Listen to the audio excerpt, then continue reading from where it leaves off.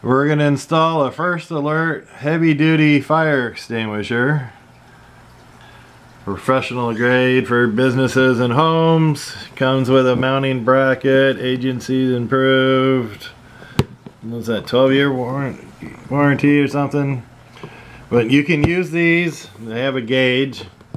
When it's not green anymore, if it's out, it says recharge and you get them recharged. So you don't just throw them away. It doesn't take up landfill. You get it recharged and it'll be recertified and ready to use again. This tells you a little bit about everything on it, you know, about how to use. They say pass for pull, aim, squeeze, and sweep. They want you to, to pull the pin they want you to aim the hose towards the bottom of the fire. See, it says that towards the base of the fire. Then you hold the trigger and squeeze. Now start your fire extinguisher compound coming out, agent. And then sweep. You don't want to hit just one spot on the base. You want to shoot it around the, the whole base to try to put your fire out. Always shoot at the base because it doesn't do any good to shoot at the flame that's up in the air because that's not where the fire is burning. Okay, so got to open it up. They got it taped really good, so I'll use a little screwdriver, kind of like a letter opener. Basically the same principle as a letter opener. You're opening a package, so. Okay. And one more over on this side. There we go.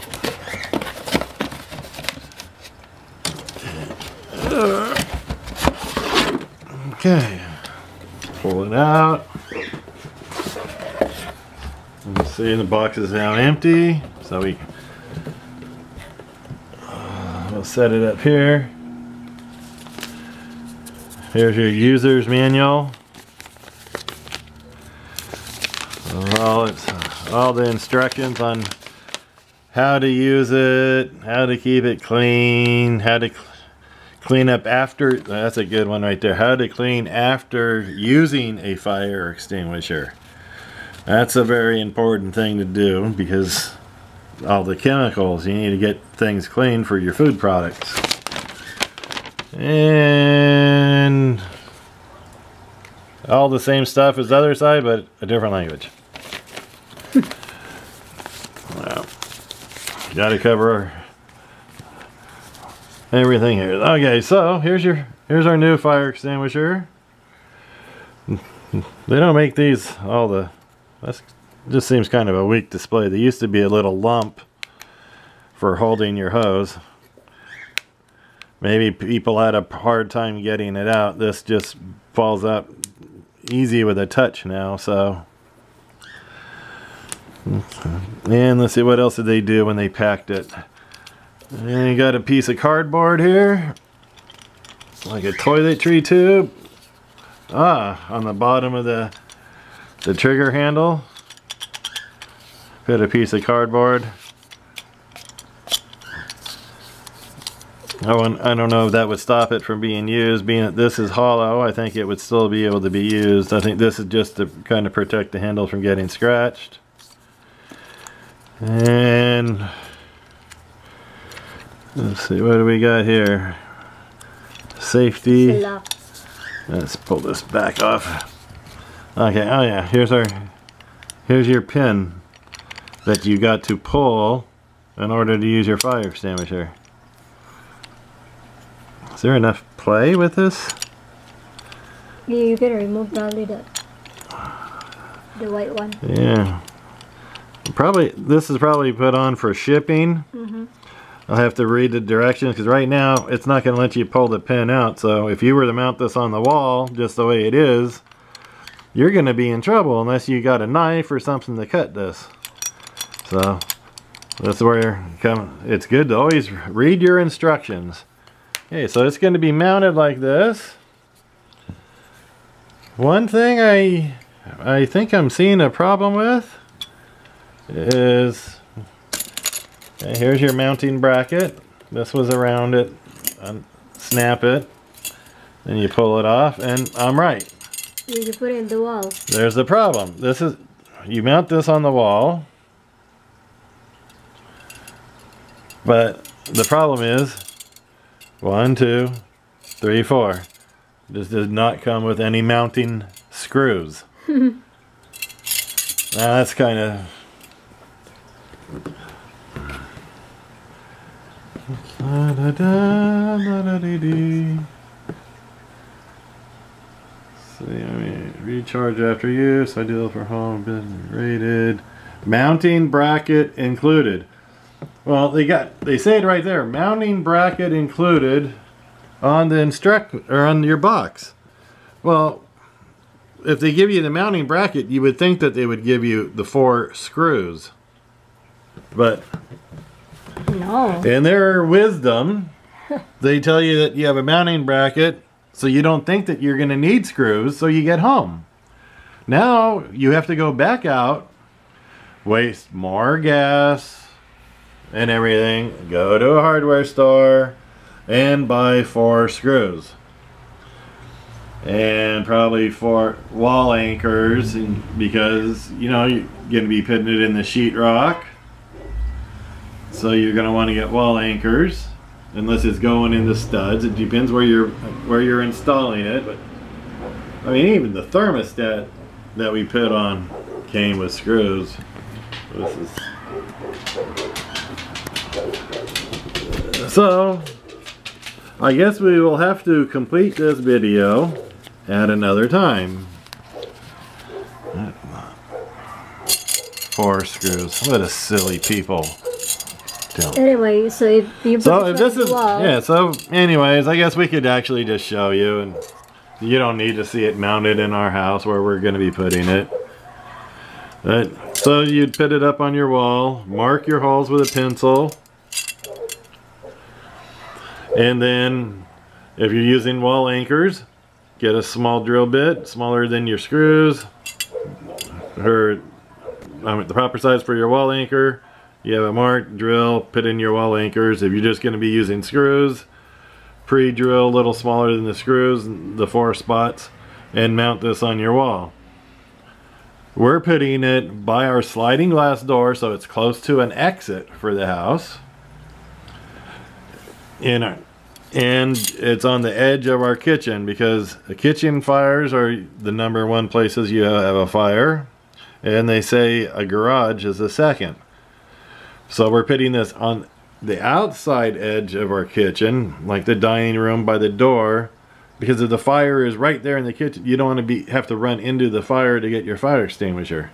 You want to be able to get it from safety, and in case things are really bad, being that we're putting it right by the door, if it's really bad, you can just get out of your house. And then if it's mount, say it's mounted on the wall, you want to put it back on, you slide it on right there in the the U. Then it, it's hanging. And bring your straps around. Let me lay this down. Being better. being it's not mounted on the wall right now it's a little kind of a little difficult but take it. So you got a little hook here for little for the buckle. Put it through and snap. Take your little hose, put your hose back in place, and that would be back on your wall, safe and secure. so if you want to open it for emergency, Emergency, emergency. If there's a fire in your house, pop it. pop it open, and lift it right off of your your mount, okay. right off of the and hanger. then you and pull this thing, it- right? Yeah. Then pass. Pull. Mm-hmm. aim, squeeze and sweep. Squeeze and sweep. Squeeze and sweep. And the horse go around it. Oh. And that's how you do it. And that's the name of that tune. It's all done now. Yeah, now we just got to buy four anchors and actually install it in our house. But now you know how to install it in your house. And right now there's a good sale on these. They're eight- $8 off. Where did we buy this? Costco? Costco. Oh, is this the ABC? ABC? Yeah. This covers all your fires, your your liquids, your oils, you know. Where does it say? It says on here. ABC. Yeah, yeah, UL rated 3, d- d- d- A, B, and C. A, B, C. So does your trash, your wood, your papers, your liquids, and your electrical fires. Mm. So it does all your things. You know, like if you watch some of those cooking shows and a liquid fire that's kind of like one in the frying pan, you, your frying pan's on fire, you don't take it and throw water in it because you throw water in it or you blow on it. Blowing on it you're, is adding like fuel to a fire. Yeah, because what does a fire need to burn? Oxygen. One of the main things it needs is oxygen and you put it under water and it's an oil fire or a grease fire it's going to explode and get super giant so on the cooking shows a lot of times they take a towel and they'll lay over it sometimes they take a, a big handful of salt and throw it in you know, I think if the handful of salt part didn't work, if you had that time and that doesn't work, get your fire extinguisher. Because putting a towel on it, if your fire doesn't go out, the, the towel's going to ignite. Mm -hmm. So why take the chance? How much is, did your house cost? How many tens of thousands, hundreds of thousands of dollars did your house cost? A fire extinguisher is cheap insurance. Less than $50. Unless what was it? Yeah, it was definitely less than thirty. It was less it, than it thirty-five. Was, yeah. I think it, it was, was, like thirty-five. 35 and we got a thirty-five save eight dollars off right now, or something like that, or was it thirty-five after saving the eight? I don't remember, but either way, for under fifty dollars, it's very cheap, and then you can get it refilled. So save your house. Don't throw a rag on it and take the chance of a rag catching fire. Don't try to save a nickel that cost you hundreds of thousands of dollars by burning your house all the way to the ground yeah, and then you got your go gauge here and all that stuff. all the memories in your house and this is not worth it. You got your gauge here, you want to know when it needs to be refilled. Yeah, it says on here refill. If it gets overcharged because of heat, you know that you should have it inspected.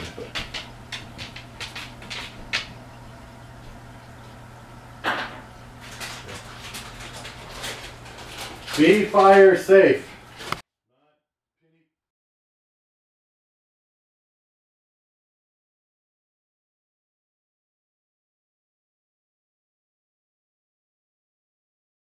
Alrighty. Well, we're going to be installing some a couple fire extinguishers in the house. As you can see, we got the big one. It's a, a multi ABC fire extinguisher. And then we have this a small can, which is a multi-purpose ABC also. Big one, comes with a big mounting bracket, four holes, hangs on it, locks in, but it's a heavy fire extinguisher. Okay, according to code, fire extinguisher, the top of it here can be no more than five feet in the air. The bottom of a fire extinguisher, they're saying no lower than four inches above the ground. So put it at five inches, six inches, whatever, you're good. Now, then if you think about people with disabilities and things, like they could be in a wheelchair. Okay, so then they're sitting down at about three feet or so. They say for Disabilities Act that you could have these at 48 inches. That seems kind of high. So we're going to be mounting our fire extinguishers at different elevations. This one we're going to be putting low and showing you how to do, and this one, the can, yeah, simple mounting bracket. It two spots for screws, and it just snaps right in like that. So that would hold it. This will be putting up higher because, and then you know we'll figure out the location for it. But this is the main one we're worried about today.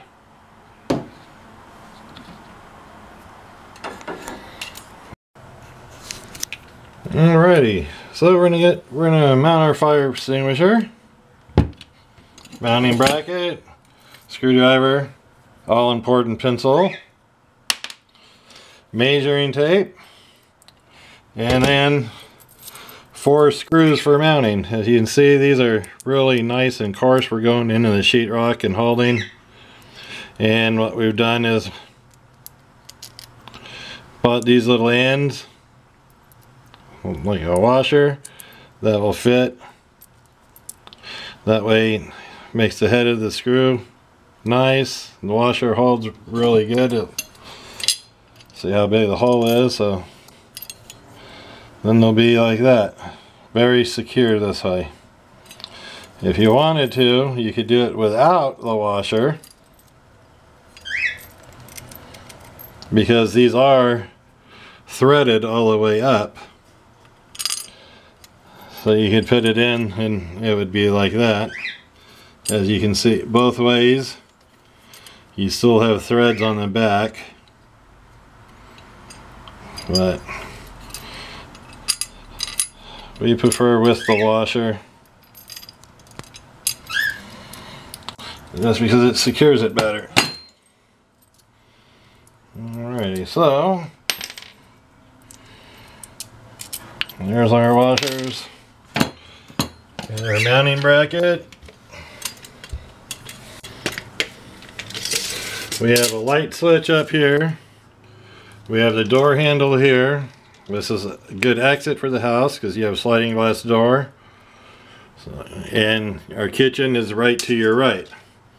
So you can grab the fire extinguisher from here, use it as soon as it's used up. If you don't get the fire out, exit the door. It's always better to be safe than sorry. So try to put it out or slow it down to buy the fire department some time. Fire extinguishers are inexpensive. They can save thousands of dollars of home repair. So we're going to mount this. Figure the, the handle from the top of the bracket is a couple inches up. We're probably going to put our bracket at Make about Oh, maybe about 34 inches, but the bottom's definitely going to be 4 inches off the ground. so the whole handle thing should be lower than this. If that's what you want. So,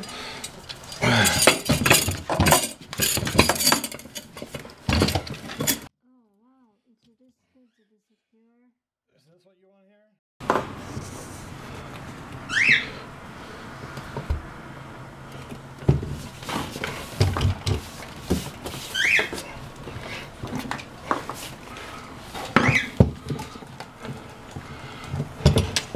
You like something like that? yeah. Below the counter.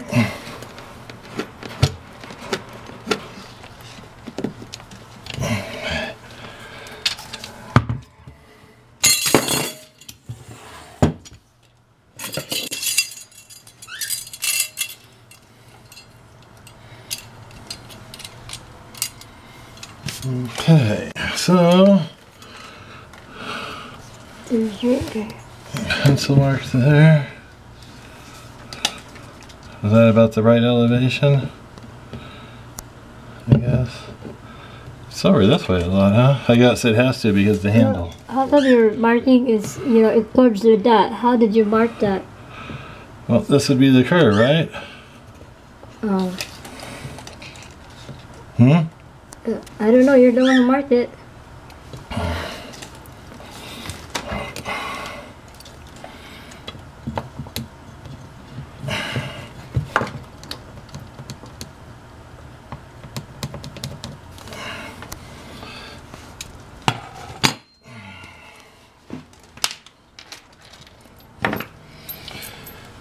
Okay, so we got our two first two spots where the screws are gonna go, so a pre-start. I hope there's a 2x4 on there, it's just a. If these don't get traction, they're very coarse threaded for doing this. For going into sheetrock. So it doesn't need a 2x4? No, it doesn't need a 2x4. But if for some reason that they decide not to hold, we can still put in plastic wall anchors. Hmm. It's not a a big deal. But odds are we're we're probably gonna hit at least one 2x4 being that there's a door framing here. So there should be two or three studs like right over here on the side.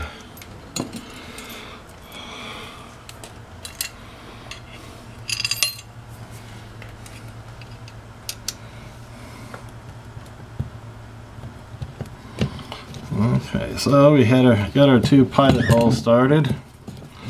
Got our screw here, first one. We did not hit any studs. That means we are not going to hit any st any studs for any of the holes. Uh, we'll see uh, if these are going to haul good. And if they don't, like I said, we can always put in the wall anchors. And twisted. Well, it's not completed yet either.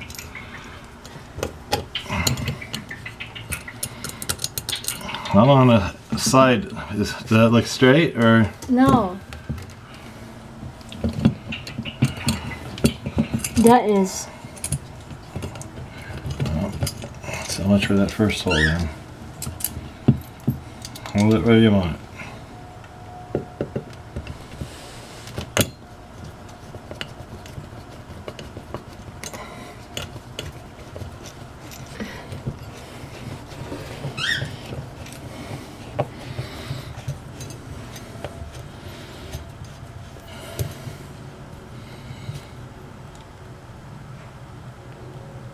So that's pretty good.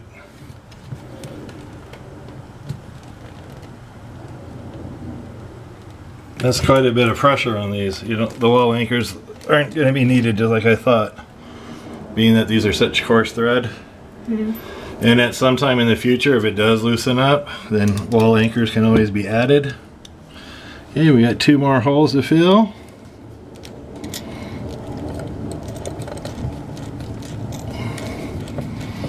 I just like these screws because they actually make wall anchors that use this type of a thread, a very coarse thread, for screwing the wall anchor in. Now, this just saves a big step. There's no, you don't have to pre-drill. These screws come with a really good point on them. And they hold just as well. And worst comes to worst, if you have to put in a wall anchor, you always can after the fact.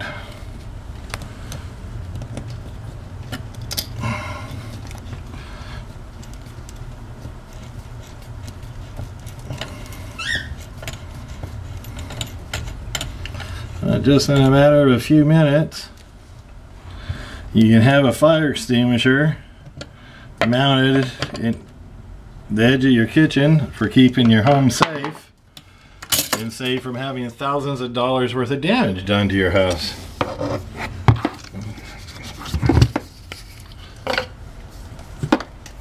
Okay, so up the fire extinguisher. Line up the cat chair. Snap it on over. Take your hose. Push your hose in the lock. If you want, you can angle it a little bit. Just like that. You can read it. Easy to grab. Just snap, pull, and you're off and running for putting your fire out. Just that easy. Like I said, you can save thousands of dollars or save your home altogether. So, and as far as codes go, we are definitely more than four inches above the ground. The floor. Well, the floor. Yeah. We're about 19 inches up, which means if somebody put a, a small garbage pail under here, it's not going to interfere with anything. It's below this cabinet. If you're in a wheelchair, it's at a very good height for you. There you So, go. there you are.